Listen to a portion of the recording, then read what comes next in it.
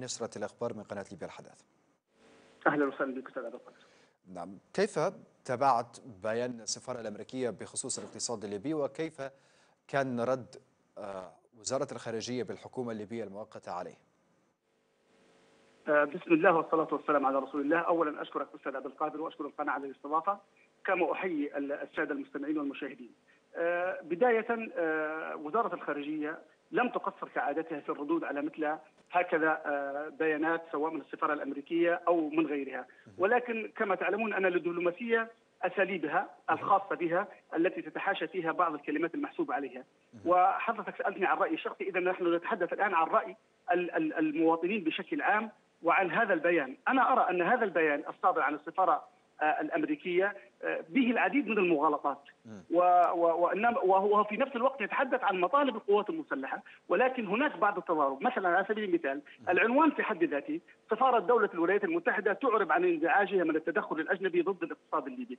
هذا العنوان يعتبر نوع ركيك جدا لأنها وكأنها اهتمت ببيع النفط عن استتباب الأمن. مشكلتنا الأولى هي مشكلة أمن. وليست مشكلة بيع نفط. وتحولت الرقعة الجغرافية لليبيا مليون وسبعمية وخمسين ألف كيلومتر وكأنها تحولت إلى ليبيا إلى عفوا إلى أمريكا وكأنها كلها موانئ نفطية. فقط يستتب الأمن في هذه الموانئ ويباع النفط وباقي ليبيا آه، ليس لنا بها علاقة. آه، النقطة الثانية تقول إن غارات مرتزقة الفاغنر على مرافق المؤسسة الوطنية الوطنية للنفط وكذلك الرسائل المتضاربة المصاغة في عواصم أجنبية والتي نقلتها انظر إلى الصيغة والتي نقلتها ما تسمى بالقوات المسلحة العربية الليبية. هذا أيضا يعني أيهما يستحق بالإدانة. مرتزقة الفاغنر الذين لم تعترف بهم روسيا ولم نرى إلا بعض الصور المفبركة عفوا. أم مرتزقة أردوغان الذين وصلوا بالآلاف من المرصد باعتراف المرصد السوري وباعتراف أمريكا نفسها وباعتراف حتى أردوغان. تسمية ما تسمى بالقوات المسلحة العربية الليبية. فلتريني أمريكا أي أي جيش وأي قوات مسلحة تريدها داخل ليبيا أم أنها تريد جيش تفصيل حسب هواها. النقطة الثالثة تقول وهي الثالثة والرابعة وهذا ما طلبت به القوات المسلحة عرقلة التدقيق الذي طال انتظاره للقطاع المصرفي والنقطة الرابعة دعم الشفافية في إدارة عائدات النفط والغاز. أليس هذا ما تحدثت عنه القوات المسلحة؟ تريد عرقلة التدقيق الذي طال انتظاره أليس المصرف الذي يسمونه موازي فتح أبوابه والذي يعطل هذا التدقيق هو الصديق الكبير لأنه يعلم أنها ستتعرض سوءاته وسوءات من يتعامل معه حتى من الإدارة الأمريكية نفسها؟ لأنهم يعلمون أن هذه الإيرادات كيف صرفت وأين صرفت؟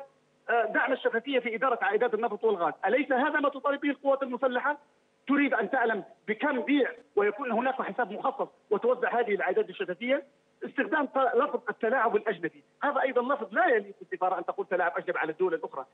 النقطة الأخيرة تقول من يتشبثون بالتصعيد العسكري سيواجهون العزلة وخطر العقوبات، نحن نقول الجيش وافق على على على على ال- العملية السياسية. ومن هنا ومن هناك وعن طريق مجلس النواب وغيره. ونرى كل يوم تحشيد جديد وتصريحات جديدة مما يسمى بحكومه الوفاق ومن أردوغان وأنهم سيدخلون إلى سرت وأنهم وأنهم وأنهم، اذا هناك تضارب كبير جدا جدا بين هذا التصريح أو هذا المنشور الذي صدر عن الإدارة الأمريكية وبين الواقع الذي نعيشه ونحياه، وبالتالي لا يوجد أمامنا إلا هذا الخيار، خيار العمل السياسي وفي نفس الوقت نتمنى الأفضل ولكن لا يجب أن نستعد للاسوء، نعم. أخي.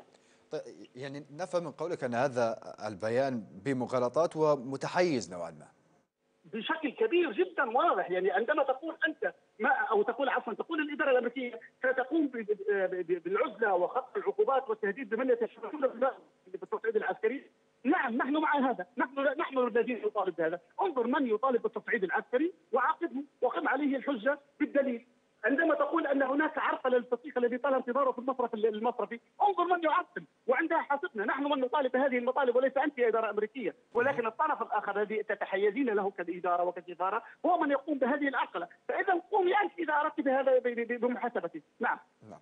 إذا المحلل السياسي الأستاذ حسن الحبوني كنت معنا مباشرة. شكرا جزيلا لك.